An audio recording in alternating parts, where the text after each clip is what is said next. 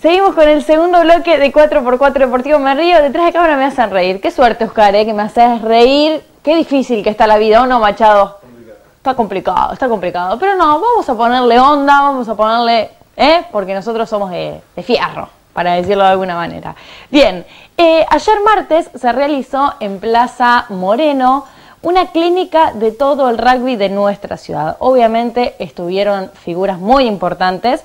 4x4 estuvo cubriendo todas estas clínicas de rugby y como ustedes ya saben y se, me imagino que se deben estar preparando el fin de semana los Pumas All Black Ay, chicos, hay que sentarse a mirar, ¿eh? una cervecita. Yo no tomo alcohol, pero no importa, vamos a tomar para festejar y para ponerle onda.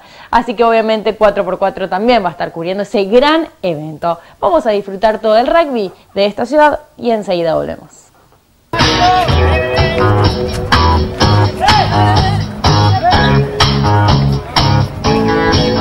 Bueno, Juan, un evento espectacular que se está haciendo acá en la Universidad de La Plata, en la, en la Plaza Moreno.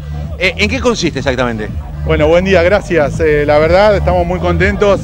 Trajimos el rugby de los clubes a mostrarlo a la ciudad. Vienen los Pumas, vienen los All Blacks y queremos que toda la ciudad juegue. Así que gente que pasa, gente que va a trabajar, están parando los autos y se suben a, a- a tocar la balada. Desde, desde la Universidad Nacional de La Plata creemos que también se puede hacer un aporte, así que están todos invitados. ¿Qué es el rugby en las calles exactamente? Bueno, es una iniciativa que de alguna forma intenta mostrar el rugby, mostrar los valores que tiene el rugby y de alguna forma invitar a que todos vengan a jugar. Y creemos que las calles es un lugar donde también este, de alguna forma podemos, podemos mostrarlo y también hay gente que puede venir a los clubes. Un lugar emblemático acá en la Plaza Moreno, ¿no?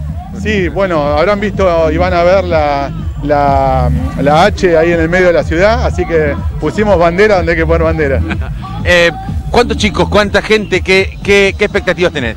Bueno, hay mucha gente, la verdad eh, creemos, no- no podemos calcular la gente que pasa caminando y que sigue, pero sí estamos hablando de casi 400, 500 personas, hay tres canchas, hay circuitos, eh, va a haber sorteo después, va a haber un tercer tiempo, así que creemos que bueno, es parte del rugby y lo más importante evidentemente es que la gente lo vea, que la gente vea cómo es y se acerque, que en la ciudad de La Plata hay cinco clubes y en toda la zona aledaña también está Ensenada, está Berizo, está Bransen, está Chascomús, así que ha venido gente de Buenos Aires, estamos muy contentos.